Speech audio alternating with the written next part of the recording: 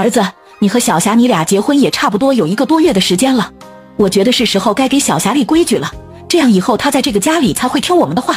好的，妈，我先把规矩列出来，你先看看。一会儿等她下班回到家，我就给她说一说，让她按那些规矩来，以后让她乖乖的听我们安排。晚上，小霞下班回到家，亲爱的，你下班了？你看咱俩结婚也有一个月了，刚刚我也列出了一些咱家的规矩，我就说出来给你听听嘛。之前我怎么没听说过你家有什么规矩呢？你现在给我定规矩究竟是什么意思呢？你别这么多废话了，现在我说你听着就行了。我不是在跟你商量，而是在告诉你：第一，你们家陪嫁的这套房子必须过户到我妈的名下。你在跟我开玩笑吗？那可是我妈给我买的，凭什么要过户给你妈？反正我是不会同意的。你要搞明白，现在你已经嫁进了我们家，你不同意也必须同意。第二个就是之前我们家给你家的二十八万的彩礼钱，你们家要原封不动的退款给我们，这钱就拿来当我妈的养老钱吧。你们家还真是会算计呢。那么之前我给你们家六十万的陪嫁，你们是不是也要给我们家退回来呢？要是你同意的话，我们就把彩礼退给你们。你已经给我们家了，怎么可能还退给你们？你就别想了，你还是让你妈赶紧把这个彩礼钱给我们还回来吧。第三就是你一定要把你微信上所有的男性朋友全部给删除掉。既然你已经嫁进我们家，以后就别跟异性再有任何接触了。你一定要记住。我看你是疯了吧？我怎么就不能有异性朋友了？难道我不能有男同事了吗？要是你能把你手机上异性都删除的话，那么我就删。我跟你怎么能一样呢？我可是个男人，要是我都删了的话，我的面子何在呢？反正不管你怎么说，你一定要删。小霞，我儿子说什么，你听着就行了。你已经嫁给我儿子了，要跟异性保持安全距离，难道这点道理还需要我们再提醒你吗？我只是嫁到你们家来，可没有卖给你们家，我难道就不能有自己的生活空间吗？你已经嫁人是有老公的人了，小刚说什么你就做什么就可以了。要是他不同意的话，你就不能跟异性有任何接触。先别吵了，现在听我把话给说完。第四个就是你现在每个月也有两万块钱的工资吧？你必须把一万八千拿出来交给我妈来保存着，你自己留两千块钱就行，这样你也够花的。你怎么这么不要脸呢？我还是头一次听说儿媳妇的工资要上交给婆婆来保管着的。再者说了，我这样的工作性质是经常要出差的，你让我每个月只花两千块钱，那怎么能够呢？其实我这么做也都是为了你好。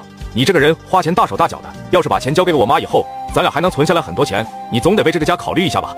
既然这样的话，你也把工资交给你妈吧，你自己留两千块钱，我觉得这样才算公平的。你让我一个大男人把工资也交给我妈，我要是出去以后多没面子啊！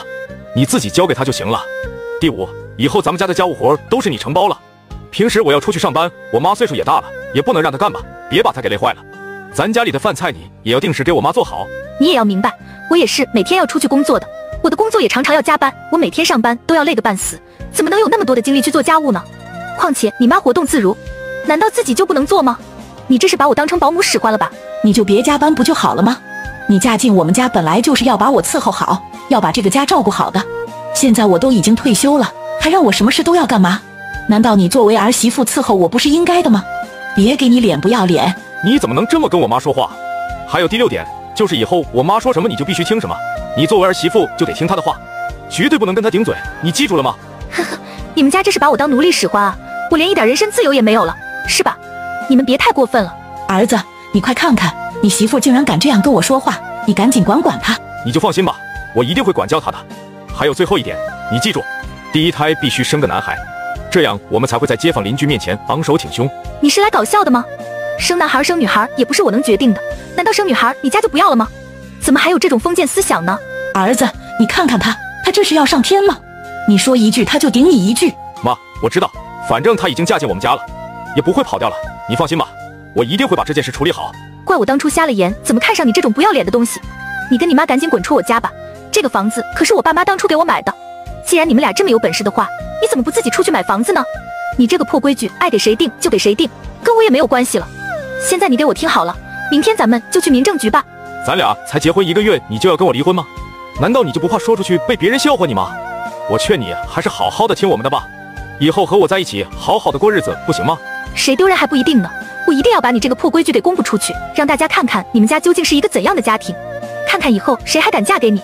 你就跟你妈过一辈子吧。我最后一次说，马上收拾东西，带着你妈滚出我家。明天民政局门口不见不散。